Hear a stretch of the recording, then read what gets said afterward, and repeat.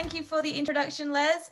Um, as he said, I am the design superwoman. I fly in, fix problems, and fly away until you need me again. Um, rather than spending any more time on who I am and what I do, I want to bring to you my 24 slides on brand building basics. So I'm going to share my screen with you. There's lots of shameless pictures of myself in here. I hope you enjoy them as much as I do. So, brand building basics. Today I'm going to be covering what is a brand, what makes a consistent brand, what are touch points, and how to build consistency into your brand. Now, your brand is more than just your logo.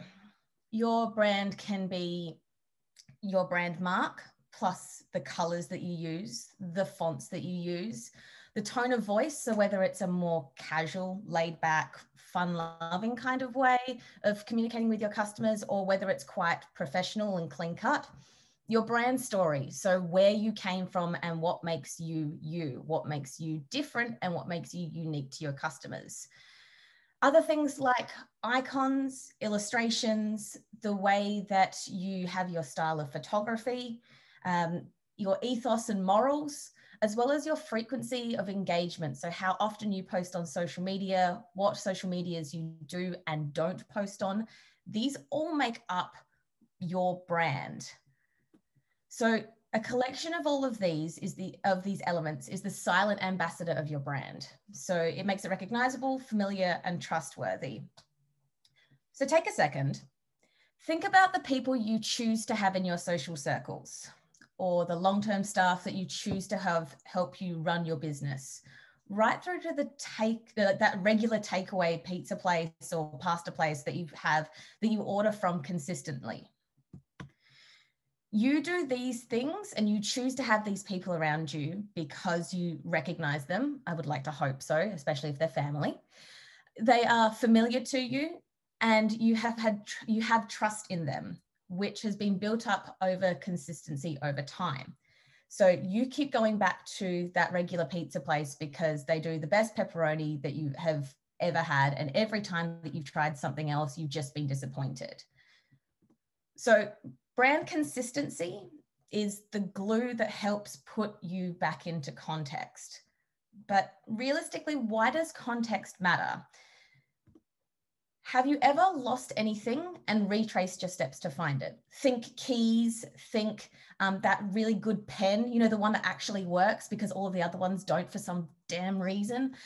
Or try to remember the words of a song by humming them. You're trying to get to the chorus, but you've got to get through the whole verse, or you're trying to remember the key word in that that's going to re- remind you so you can find it on Spotify. Or maybe you've been making word associations to remember someone's name this happens because we tend to forget things when we're removing them from the original context. And it's this is what we call context dependent memory. Now, I know you're sitting there thinking she's talked about brand and now we're going into like psychology. Bear with me, stick with me. We got this. The reason why you want to be sitting in context memory you want you you want your brand to sit in that process of re-remembering okay i need to have a gardener come in and look after my garden. Well, I remember that there was that ad that has kind of implanted itself in my memory because it's in a contextual sense. So if you want to become recognized and remembered in order to earn your customers' trust, you must show up in a way that's consistent so you can be put back into context.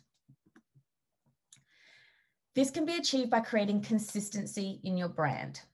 So this is going back to the, at the very start saying about all of your brand colors. So consistent in your brand colors, consistent in the tone of voice, consistent in the way you show up.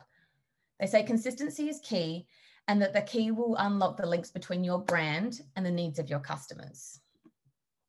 By placing your brand consistently in situations where your brand is relevant, so say for instance, you uh, let's go back to the landscaping idea. So if you have a landscaping business, you'd want to be putting really beautiful visuals of gardens that you've done either up on Instagram or even on Pinterest so that they are in a situation where your ideal customer is going to be taking that information and storing it in a contextually based pattern.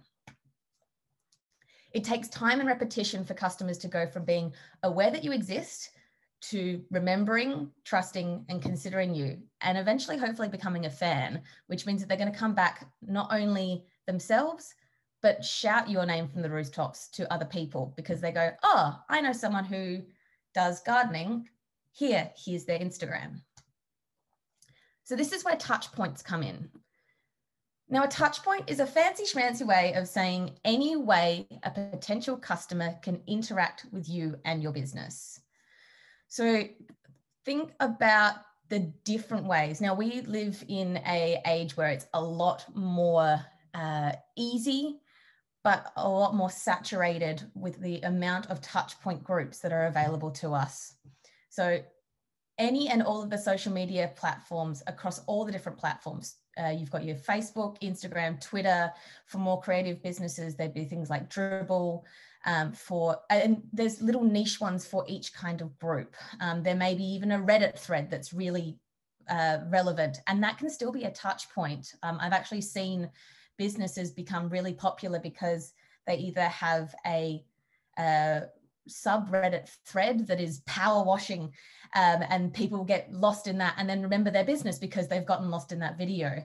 Um, and I also know that uh, a lot of businesses have had a lot of recent success from social media platform TikTok because they've got the right target of who is going to be watching their stuff and it ends up coming back through their business. Now, it's not all just social media. There is plenty of tried and tested touch points. So digital advertising, print advertising, direct marketing. And I'm not talking about those horrible catalogs that like feel really weird in your hands and you have to wash your hands like five times before you get the, the grossness off. Um, your website, both uh, commerce, blog, anything that ends up um, on your website, post sale interactions. So those fun emails that um, come through that say, hey, you bought from us. We'd love to hear from you what you thought. Or it could even be just a little handwritten note that's sent to someone afterwards saying, hey, let us know how you feel. Things like mailing lists. So when someone jumps on your website and wants to buy something or download something that you're offering, taking their um, their email and communicating with them in a mailing list or a subscription based service. Then what is something has not been happening very much in 2020, but in-person interactions. So that's still a touch point a touch point would be having an interaction with someone about their brand because I know as well as many do, as soon as you start talking to someone about their brand, they light up, they buzz, they're really excited about talking about what they want to talk about because they're passionate enough to dedicate basically their life to it. Things that come a little bit later would be things like product reviews because your product or your service is out there and you're asking people to come back. And the best way to sell something is to have someone sell it for you peer referrals, affiliates and influencers, things like that, and then events and activations. They're all things that come a little bit further down the line and aren't for everyone, but it's really good to get a bit of a uh, a mixed bag of different things because not all your customers are going to be seeing, sitting on social media and seeing your ad every single time. Now, an average sale requires seven to 10 touches with a brand before a potential buyer converts to a customer. So that's seven different times that they you need to get inside their head, and each one of them has to be different in what it's um it needs to be saying the same thing but different in the way it's done. Because if it's the same people get bored. They switch off they click away they scroll away they swipe away. They're not interested if you have the same ad or the same message, they're going to be kind of going, oh no, I've already seen that, tick it off my list. Don't need to worry about that. So you need to say, I'm still here, I still exist, but here's something that you didn't know, or here's something that I can add to your business, or here's something that we did for someone else. The main part of that is keeping all of those messages consistent in visual so that you can be building up that trust and that recognition with the customer and your brand.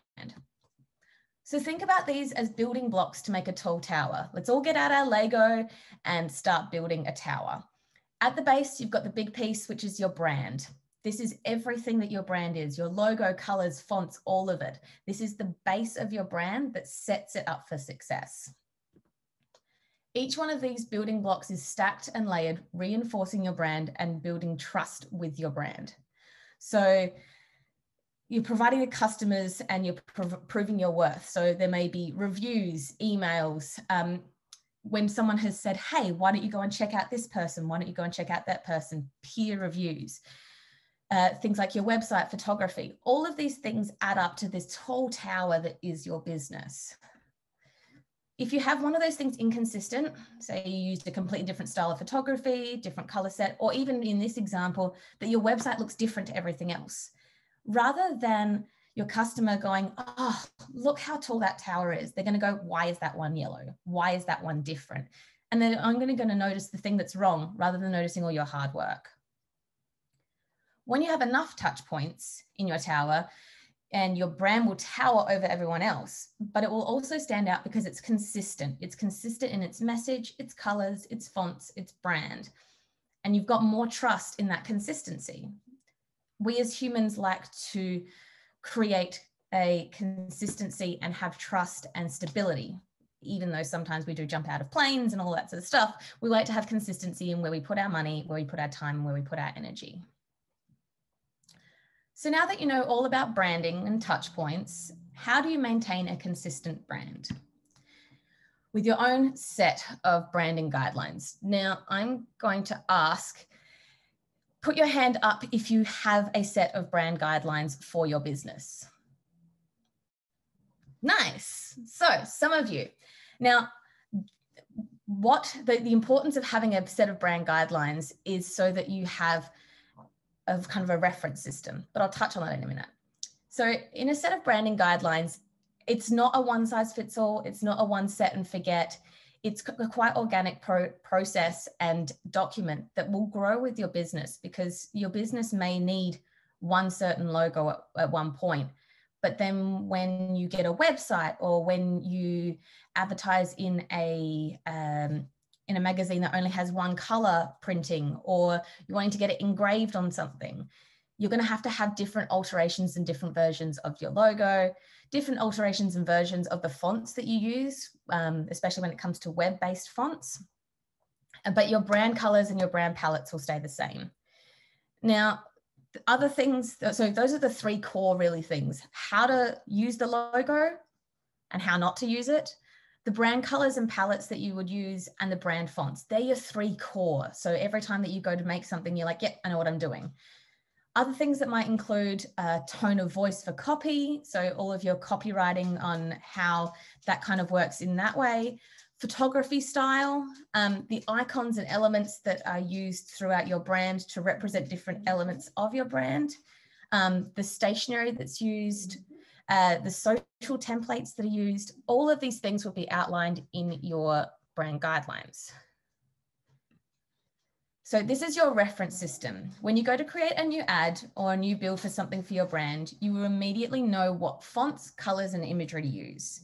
Your brand guideline shows you how to create these and create the best representative of your brand that's most likely to contain and consistent brand visual. So it means that you've got this reference system that you can come back to and go, I know that every single time we always have a banner, which is this color, and we always use this font. You are then building that consistency and building that rep reputation for your brand to be consistent, to be dependable and trustworthy. Now, uh, Jasmine, mm -hmm. I, this this stuff fascinates me, and I could I could listen to this forever. But we've probably got another two minutes. Excellent. So, well, I have another two slides. Woo! Woohoo! So this will be your brand bible. So when you send your logo to others and they build assets for your brand, you've got the trust in saying that you know this is this is my baby and this is how to treat it. And when they don't treat it right, they can you can come back and say, actually, look here, this is what the clear reference is to get it back on track. It's never too late to develop a brand identity guidelines. In fact, recognizing them and that you need them means it's the perfect time to have them created.